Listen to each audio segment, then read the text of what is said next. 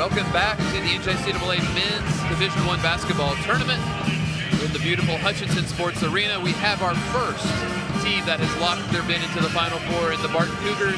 With us is head coach Jeremy Combs from Barton. Awesome game, man. 87 to 73 win over a really talented Northwest Florida team. You guys were incredible from start to finish. I thought you really controlled the game. Your dominance in the paint was just awesome to watch. Talk about your Cougars and uh, what what stood out to you today. Well, you said start to finish, and it was really uh, it's about that 10 minute mark there at the end. We didn't play very well and kind of made it ugly, you know. But I thought our first, uh, you know, definitely in the first half we were we were hitting on all cylinders offensively. Uh, defensively, we were locked in. Uh, and then that 10 minutes in that uh, second half was really, really good. And I think we controlled the glass, and that's really what did it. Coach, Mose Downing Rivers, one of our favorite players last year, one of our favorite players this year, but obviously early on kind of gets a little dinged and it just held him back for a long time. But now, being healthy, clicking on all cylinders, being the type of true point guard that he is, so important to this team. Talk a little bit about that journey for him this year, getting to this point. You know, uh, I don't think people realize how special that young man is. I, I, posted something yesterday about how many wins he's had in his career. That's the only thing that I have to see. That's the only stat that I have to see with that young man. He can do whatever. He can score it on the floor if he wants to.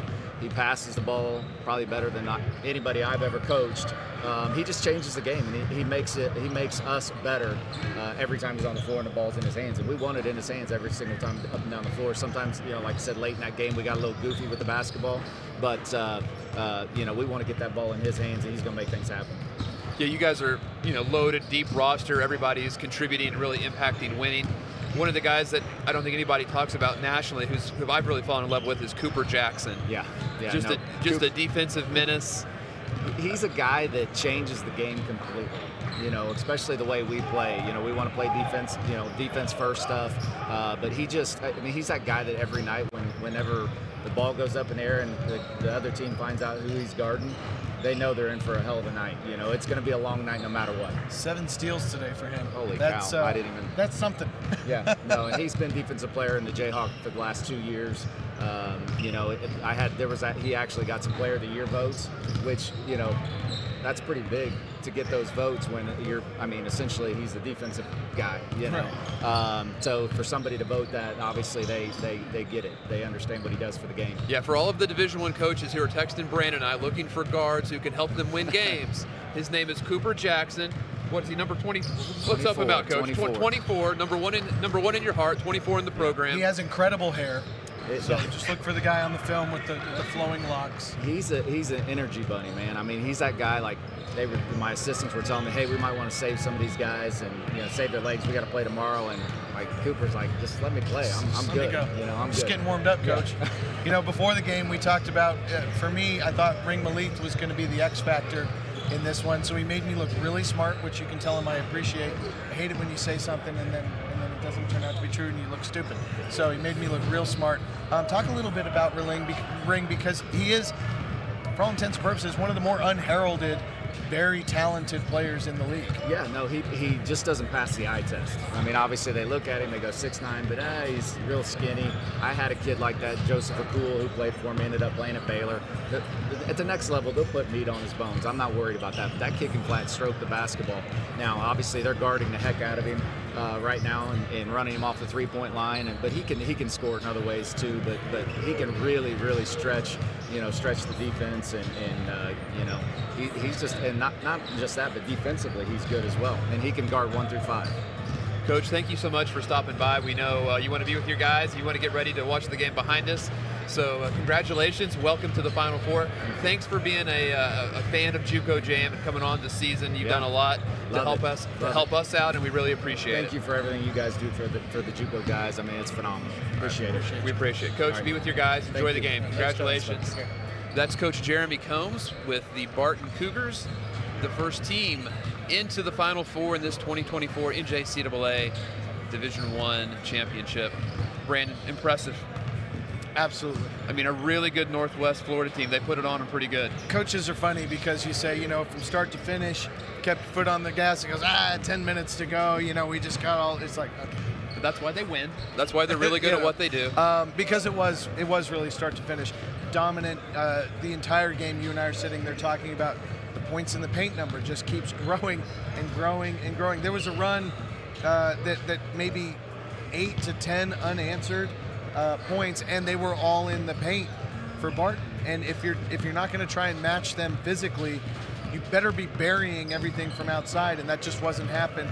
Can't can't not hit on both. I think factors. it wore down Northwest Florida mentally that they were just getting just hammered inside the paint just over and over again. I thought it just broke them down. They kind of at some point there was just a breaking point, For sure. and it was uh, too little, too late. Barton into the Final Four, folks. Uh, game game number 18 of the tournament, two of the day. Shortly, we will declare a second team into the Final Four. Uh, warming up behind us, we have the Triton Trojans uh, from River Grove, Illinois, and South Plains, the number two overall seed from Levelland, Texas. Uh, this is going to be a tale of, of, of, two stories here. Talk a little bit about uh, what you're thinking about in this game. Yeah, this is going to be very stylistically different. This is going to be the firm, four horsemen of the apocalypse, whatever you want to call them, out there trying to bury shots. excuse me, versus uh, the physical length, strength, inside presence of South Plains. You've got Malik Ewan, you've got Jabari McGee, who looks like an NFL player that can get to his spot wherever he wants. He can shoot the ball. Um, this is this should be a heck of a fight. Yeah, and let's talk a little bit about how we got to this point. Uh, Monday, Triton defeated Trinity Valley 105 to 87. Triton very good as a smaller team. They were plus 14 in rebounds. What they do best, 10 out of 27 from three. And here's something to watch out in this game. Triton very good at getting to the free throw line. 37 out of 45 on Monday at the free throw line. That's 82%. Amar Aguilar, 35 points. Dylan Williams, 21. Dior Connors, 17. AJ Dixon, 16. For South Plains, they had to fight from behind to defeat Panola 80 to 76. In fact, they were down 47-39 at half. South Plains hasn't stroked the ball from outside real well throughout the season. They hit 6 out of 10 on Monday. Also something to watch in this game. 17 offensive rebounds. Jabari McGee, 22. Malik Ewan, 21 and 9. Jamari Hill with 19. I would imagine Triton's, Triton's probably going to do everything they can to stop Malik Ewan inside and Kerwin Prince, Jalen Hampton. South Plains is just bigger, stronger inside. And that's probably going to open some opportunities for the three-point shot for South Plains. Coach Burnsy's going to have to pick, you know, his poison on what he's going to try to stop. It's going to be strategically interesting in this chess match between two of, I think, the best young coaches in basketball, between Coach Brian Burns at Triton, Coach Hayden Sowers at South Plains. Yeah, it's actually really exciting to see both of these guys be super successful very early on into their head coaching careers. Something that that you know junior college needs. It's that next that next the group pipeline. of guys, yeah. right? The pipeline of, of coaches. Uh, you know, shout out to Jeremy Shulman this morning, announced as the new head coach of UT Martin. There are young coaches that are phenomenal that are in this league. Um, there are coaches that have gone on to have great Division One success. We see them all over the place at high major basketball that got their start here, and now we're seeing the next generation of those guys get those opportunities to then move on and be the next group. It's really, really cool. Right, Rick Cabrera, right, took Tallahassee deep in the tournament last year.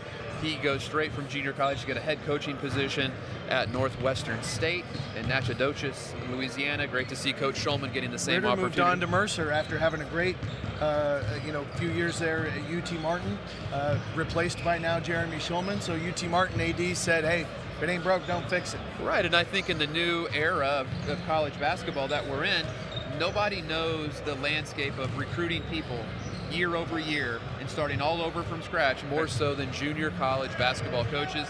I think they are the elite minds and thinkers and recruiters to build Gotta get college creative. programs. Have to get creative, especially programs like that where guys get that first opportunity. You know what you don't have is a bunch of NIL money. You can't go buy a new roster if everybody transfers out. You have to be creative. You have to use those relationships. You have to look at junior college. You know, everybody talks about these JUCO guys knowing JUCO guys. Well, you know what else they know is high school guys because they bring them to all the junior colleges. Right, and the preps, right? And the prep 100%. and the prep school. So behind us we have Triton, the Trojans out of River Grove, Illinois. We have South Plains, the junior college powerhouse out of Levelland, Texas. It's going to be a great game coming up, game 18.